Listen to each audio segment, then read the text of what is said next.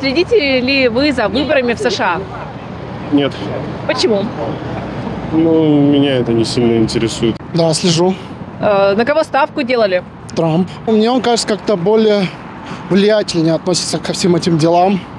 Он может нам помочь каким-то образом, может быть нам союзником. Вот скажите, а вы следили за выборами в США? Меня Америка не интересует. Что там у них там происходит за океаном, мне это без разницы. Выборы-то. Ну, Я бы проголосовал за Брежнева Леньку. Царство ему небесное. За Брежнева мне они, американцы, не нужны. Следили ли вы за выборами в США? Да, конечно. Э, на кого ставку делали? Ну, мне бы хотелось, чтобы Дональд победил. Почему? Ну, мне кажется, он все-таки лучше, больше знает, больше понимает. Скажите, за выборами в США следили? Кого? Да нафиг они мне нужны? Тут бы за своими углядеть. Вчера смотрел, да, На кого ставку делали? на Трампа.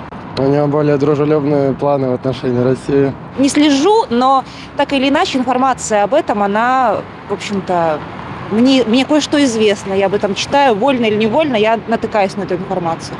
Я не слежу, у меня только муж следит за новостями всеми. Я нет.